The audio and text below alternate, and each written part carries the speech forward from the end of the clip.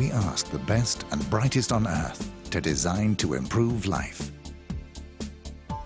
Come and see what happens when they do.